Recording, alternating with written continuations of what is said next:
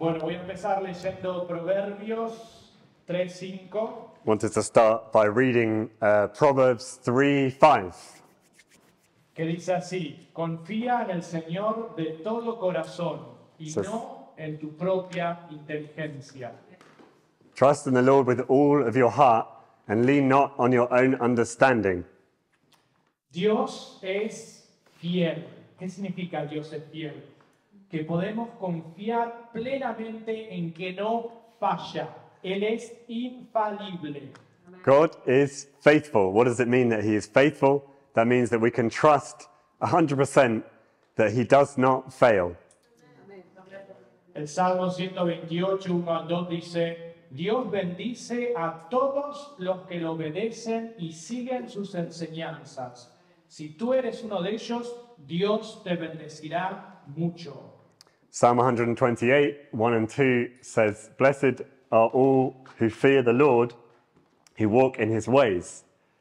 You'll eat the fruit of your labor, blessings and prosperity will be yours.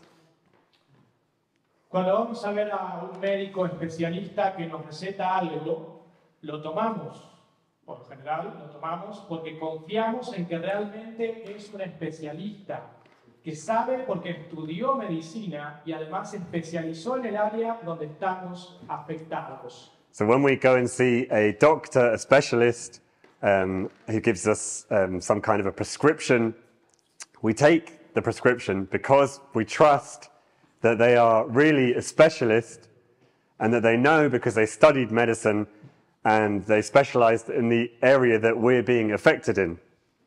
Por lo general ni siquiera lo conocemos al médico, pero confiamos en lo que nos está diciendo y en lo que nos está dando.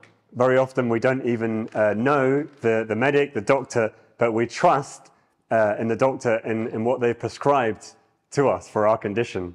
Quizás porque confiamos en el sistema, que tiene que sa- pasar por distintas pruebas, tiene que tener títulos, confiamos en que realmente tiene que ser alguien confiable y por eso aceptamos lo que dice. Maybe we trust because we know they've gone through the system, they've had to jump through the hoops, and that's why we trust in what they are prescribing us. Es más, por lo general ni siquiera sabemos lo que tiene el remedio, lo que nos está dando, ni siquiera sabemos qué hay adentro de esa pastilla And even more than that, I can also say that very often we don't exactly know what we're taking, what they've prescribed to us. We often don't know what's in the, the prescription. Pero confiamos porque sabemos que el médico sabe y es bueno. But we trust because we know that the, we, we believe that the doctor um, knows and they're good, they're professional. ¿Cuánto más podemos confiar en el creador de todo lo que existe? And so, how much more can we trust in the creator of everything that exists? Si confiamos en un médico que en realidad sabemos que puede fallar, ¿cuánto más podemos confiar en el médico que nunca falla? And if we trust in the doctor that we know can fail, how much, short, how much more should we trust in the one that we know never fails? Uno obedece cuando sabe que el que te dice que hagas tal o cual cosa sabe lo que dice y no falla. Es bueno. And one obeys when one knows that somebody who gives one the instruction is good and never fails. Vamos a obedecer a Dios porque sabemos que lo que Él nos dice es bueno y no hay falla en Él. Y realmente bendice, como dice el Salmo 128. So we're going to obey God because we know that what He says is good and that He doesn't fail and He really, um, what He says really blesses us, as it says in Psalm 128. ¿Cuál fue el problema de la humanidad? ¿Qué pasó al principio? What was, human, what was the human problem at the beginning? ¿Cuál fue el problema que llevó a la caída al principio? What was the, the problem that led to the fall at the beginning? La desobediencia. Disobedience. Desobedecer y no creer en el Dios que no falla trajo maldición a este mundo. Disobey and uh, not trusting in the one who doesn't fail brought a curse on this world. ¿Y por qué desobedeció el hombre? ¿Por qué no confiaron en la infalibilidad, infalibilidad de Dios, de su palabra? And why did man uh, uh, disobey? And why didn't they trust in the infallible word of God and his word? No confiaron en que Dios no. Because they did not trust, they did not believe that God does not fail. Le creyeron a la mentira, no le creas a la palabra de Dios.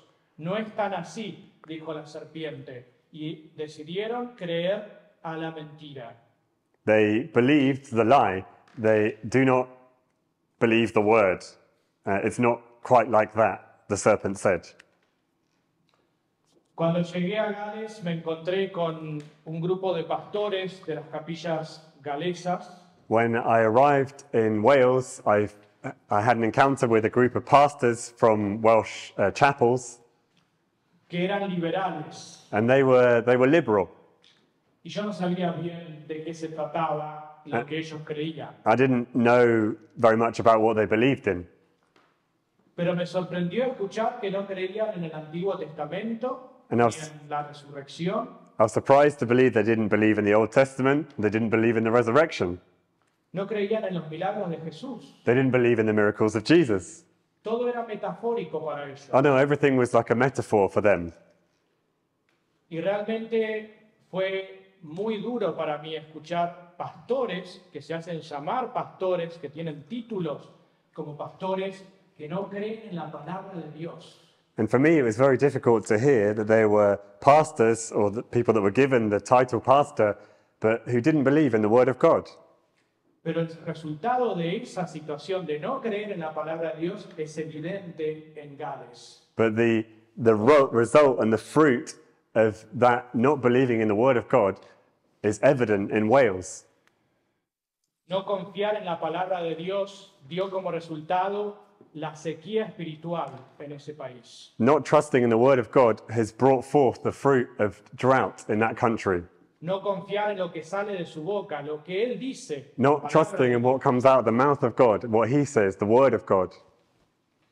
Y el resultado de hoy es muy triste. Cantidad de capillas cerrando, capillas que abrieron en los grandes avivamientos iglesias secas, un porcentaje muy bajo de la población que es creyente.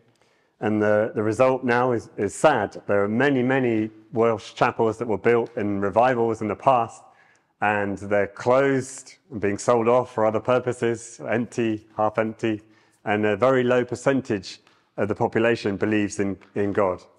Y no es solamente en Gales, también pasa en Inglaterra y en muchas partes de Europa And it's not just in Wales, but it also happens in England and many other parts of Europe. y en muchos lugares del mundo donde la gente empieza a escuchar esa mentira. La palabra de Dios no es tan así.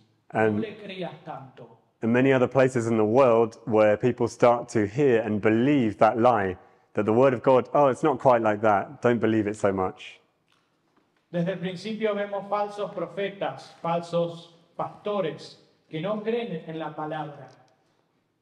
And uh, we see um, from the beginning false pastors that don't believe in the Old Testament.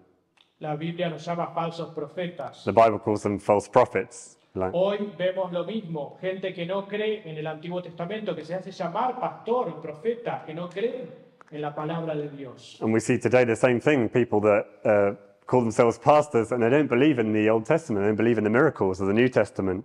Llegar a no creer en la resurrección. No tiene sentido el Evangelio, dice Pablo, si no creemos en la resurrección de Cristo. And they arrive to a point where they don't believe in the resurrection. And the Apostle Paul himself says that everything is pointless if you don't believe in the resurrection of Jesus Christ. Es terrible lo que pasa cuando nos alejamos de la palabra de Dios. And it's terrible what happens when we uh, depart, when we um, grow apart from the Word of God. ¿Qué ven acá? What do you see here?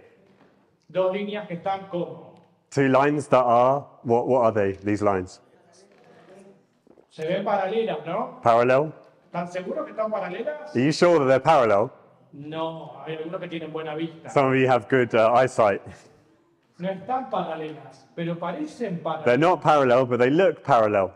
Y ese es el problema cuando empezamos a dudar un poquito. And that's what happens when we start to doubt a bit. The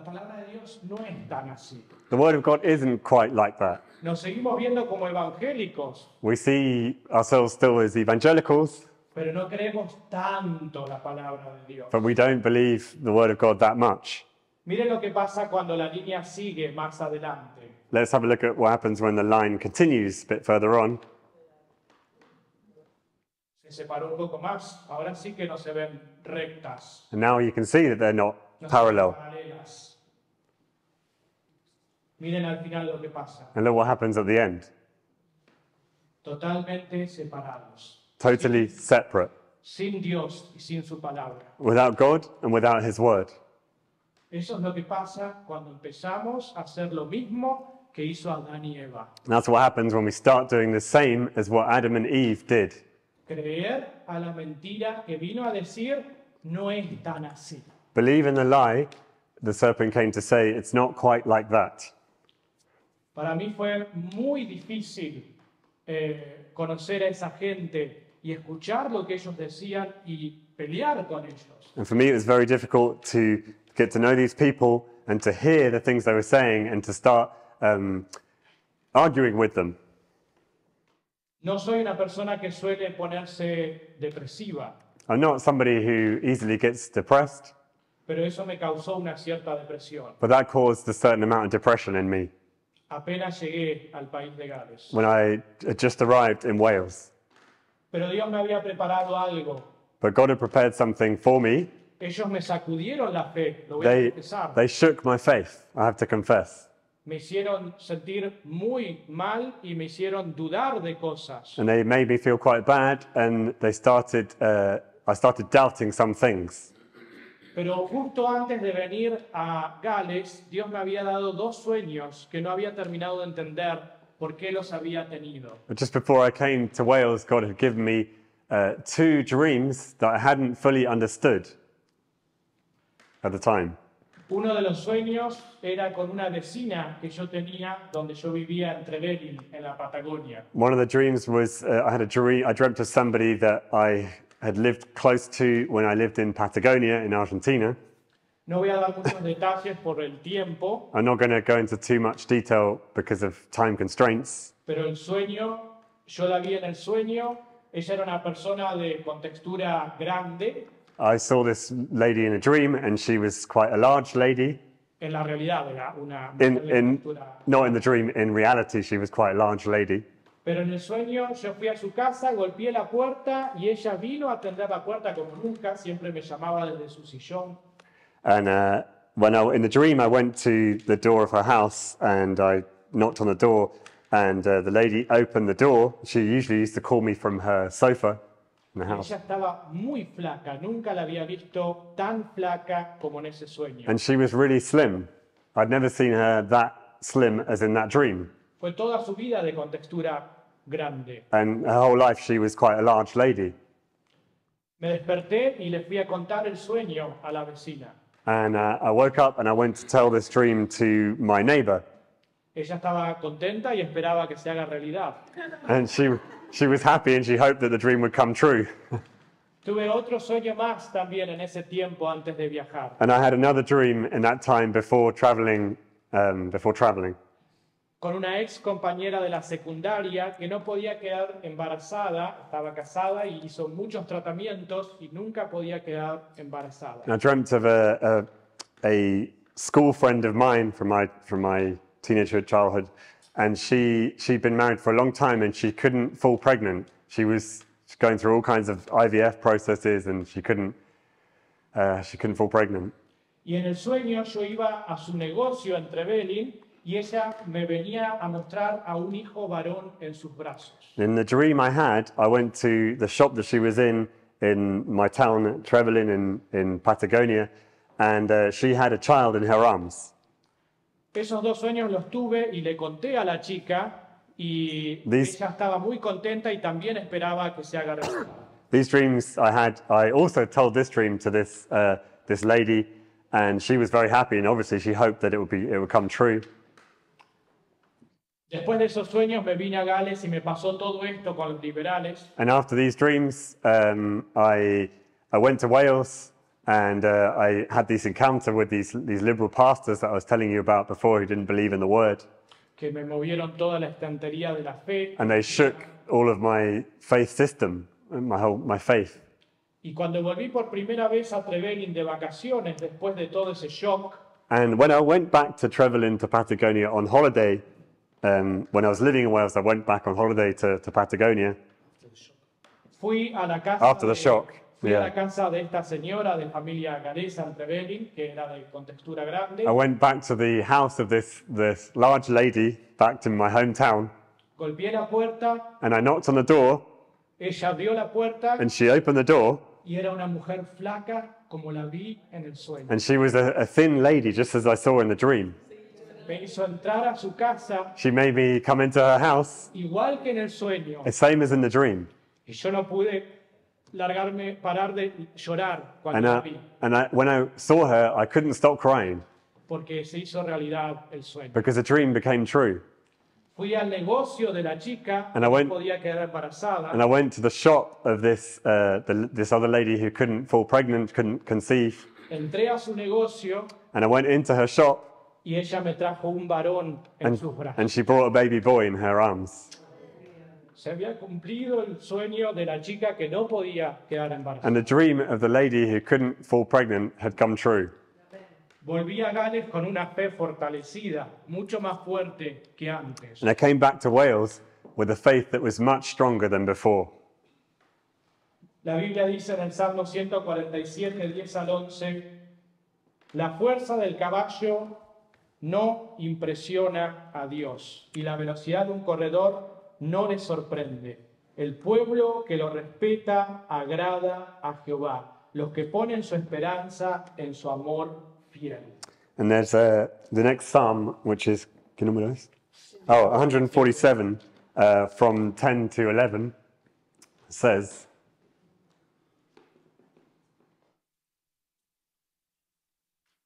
just adding to the suspense. ¿Quieres traducirlo de acá? Um, it says, His pleasure is not in the strength of the horse, nor his delight in the legs of a man. The Lord delights in those who fear him, who put their hope in his unfailing love. Y si nos ponemos a pensar y nos hacemos la pregunta, ¿hay algo que pueda maravillar a Dios? La respuesta va a ser, no, Él es el creador de todo lo que existe. ¿Qué va a marav- maravillar a Dios? And when we start to think about it, we ask ourselves the question is there anything that can surprise God? Is there anything that can, um, yeah, surprise him? I can't think of a better way. es no, And the answer is definitely no. es el creador de todo lo que existe. He's the creator of all things. Pero el Salmo este dice que sí hay algo que maravilla a Dios. But this psalm says that yes, there is something that surprises God. Y es la gente que le cree, It's the people that believes in him, la gente que cree que Él no falla, the people that believe that he does not fail, que Él es fiel todo el tiempo, that he is faithful always, que su amor es fiel. that his love is faithful. El pueblo que lo respeta agrada a Jehová, maravilla a Jehová, los que ponen su esperanza en su amor fiel. And uh, the people that trust in his faithful love, the ones that surprise God. Y por eso en Hebreos 11 hay una li- lista larga de los que maravillaron a Dios con su fe. Así que le voy a pedir a Steven que lea Hebreos 11, 1 al 12. So in, in Hebrews 11, 1 to 12, there is a list of, of people who surprise God. And it says, Now faith is being sure of what we have hoped for and certain of what we do not see. This is what the ancients were commended for. By faith, we understand that the universe was formed at God's command, so that what is seen was not made out of what was visible. By faith, Abel offered God a better sacrifice than Cain did. By faith, he was commended as a righteous man when God spoke well of its offering, and by faith, he still speaks, even though he is dead. By faith, Enoch was taken from this life so that he did not experience death. He could not be found because God had taken him away. For before he was taken, he was commended as one who pleased God. And without faith, it is impossible to please God because anyone who comes to him must believe that he exists and that he rewards those who earnestly seek him. By faith, Noah, when warned about things not yet seen, in holy fear built an ark to save his family. By his faith, he condemned the world and became heir of the righteousness that comes by faith. By faith, Abraham, when called to go to a place he would later receive as his inheritance, obeyed and went, even though he did not know where he was going. By faith, he made his home in the promised land like a stranger in a foreign country. He lived in tents, as did Isaac and Jacob, who were heirs with him of the same promise. For he was looking forward to the city with foundations, whose architect and builder is God. By faith, Abraham, even though he was past age and Sarah herself was barren, was enabled to become a father because he considered him faithful who had made the promise. And so from this one man, and he as good as dead, came descendants as numerous as the stars in the sky and as countless as the sand on the seashore. En realidad, sin fe es imposible agradar, agradar, a Dios, ya que cualquiera que se acerca a Dios tiene que creer que Él existe y que recompensa a quienes lo buscan. So without faith, it is impossible to please God because in order to draw near to God, it is necessary to believe that He exists and that He is a rewarder of those that seek Him. Toda esta lista de gente es una lista de gente que se quedó paralela a la palabra de Dios. Creyó en las promesas de Dios como Abraham, porque consideró fiel al que le había hecho la promesa. So this whole list of, of people is a list of people who remained parallel to the word of God, and they believed and they believed in his promise and they believed in his words. La Biblia no dice que eran perfectos, estaban llenos de errores. The Bible doesn't say they were perfect, they were full of errors and mistakes. Pero fueron considerados justos por creer en el amor infalible de Dios. But they were considered righteousness, righteous and just because they believed in the uh, infallible love of God. Hebreos 11 termina hablando de los que su, eh, sufrieron por creer en las promesas de Dios, sin ver la recompensa completa en esta tierra. Perdón, ¿qué pasa aquí? Hebreos 11. Oh, Hebrews 11 at the end talks about those who. Um, decirlo vuelta, perdón. Hebreos 11 termina hablando de los que sufrieron por compartir, por creer en estas promesas de mm. Dios y por vivir en esta tierra sin llegar a ver la recompensa por creer en las promesas yeah. de Dios. The end of that passage of Hebrews 11, excuse me, talks about those who uh, suffered and those who didn't see the fruit of their faith, um, but they still believed, and it, it, talks about their reward. Y ya terminando, segunda de Timoteo, eh, de Timoteo 2, 10 al 13 dice, por tanto todo lo soporto por amor de los escogidos, para que ellos también obtengan la salvación que es en Cristo Jesús con gloria eterna. Palabra fiel es esta, dice el apóstol Pablo a Timoteo. Si somos muertos con Él, también viviremos con Él. Si sufrimos, también reinaremos con Él. Si le negaremos, Él también nos negará. Pero si fuéramos infieles, ¿qué dice acá? Pero si fuéramos infieles, Él permanece fiel.